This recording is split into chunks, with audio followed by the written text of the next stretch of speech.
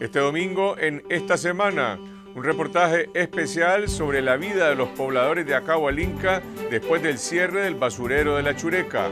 Si no churequeaba, no comía.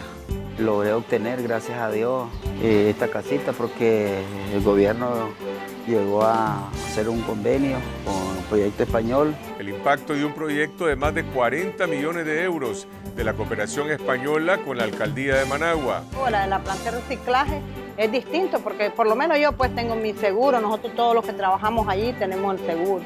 A un año de la masacre de la discoteca Pulse en Orlando, un nicaragüense cuenta cómo sobrevivió al atentado criminal.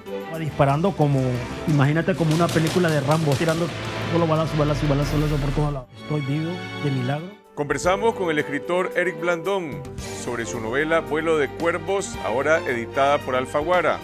El despliegue de la policía para aplicar multas genera controversia entre los conductores. A veces están envueltas que ellos están esperando que uno haga un mal giro o pise una línea amarilla para poderlo multar. Realmente golpean al ciudadano. Eso es un hecho. Y además, un inusual encuentro entre el comandante Daniel Ortega y centenares de empresarios. Hay memoria de caras. Su casa es mi casa. Acompáñenos el domingo a las 8 de la noche por Canal 12.